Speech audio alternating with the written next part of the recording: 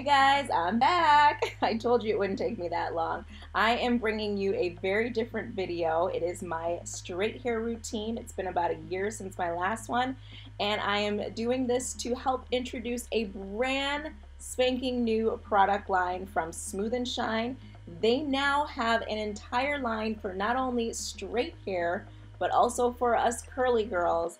And if you're not sure who Smooth and Shine is, I'm going to put up some of these images of their older line, which I have known and loved for so many years, and maybe that'll help ring a bell. To kickstart this curly to straight hair routine, I did go ahead and start on freshly washed and conditioned hair, and I also made sure that I t-shirt dried to help speed up the blowout process. To make things a little bit more manageable, I am going to start on section hair and I'm going to add just a little bit of water because it did end up getting too dry. Starting with Smooth and Shine's Camellia Oil and Shea Butter Detangling Mousse, I'm going to make sure I distribute this throughout my hair and begin the detangling process. Now, I'll be honest guys, my hair was pretty much detangled when I used this product, so I'm not sure how good it really is. I might actually end up using it when my hair is curly to let you guys know.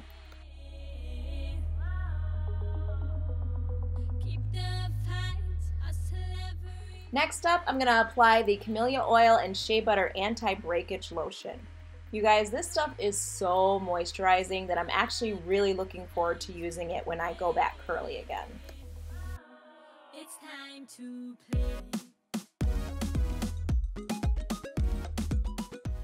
Once that product is fully distributed, I'm then going to follow up with the Black Seed and Coconut Oil Straightening Polisher. Now this reminds me a lot of their old hair polisher and reminds me of why I love this brand so much.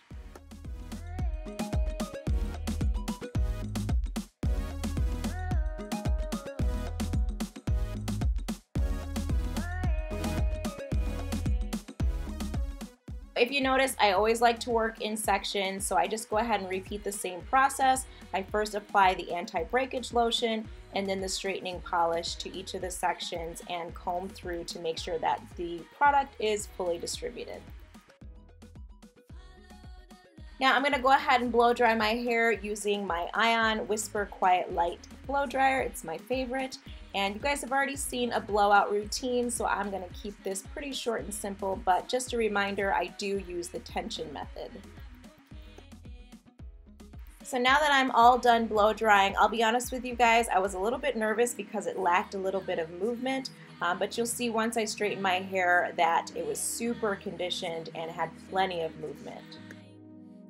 So not much has changed from last year. I am still using my Ion One Stroke Straightener. It is still my favorite to this date because it literally gets the job done in one stroke.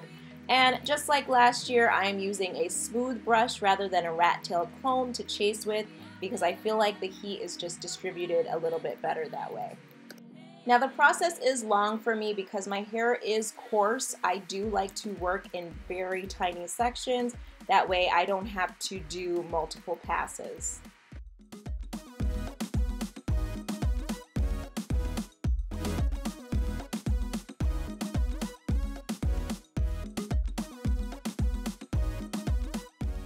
Ah, just look how smooth and shiny this hair is.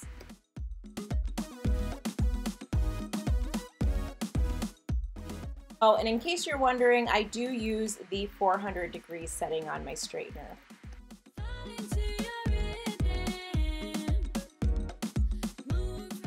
And just like that, we are done. My hair is shiny, my hair is conditioned. Between the Smooth and Shine products and the technique that I use, this is by far my best results to date. I've recently cut my hair, but I could use another trim on my ends, so I am going to do that and I will come back on here and show you the results. So there you have it folks, these are my final results. My ends have been trimmed and they look so much healthier. Guys, I have been loving the straight hair. I've been rocking it for about two weeks now, and I don't intend on changing it for a while. Special thank you to Smooth and Shine for sending these amazing products because this, like I said, is the best that my hair has ever looked straight. Thanks again for watching, guys. I really hope you enjoyed this video, and I will see you in the next one. Goodbye.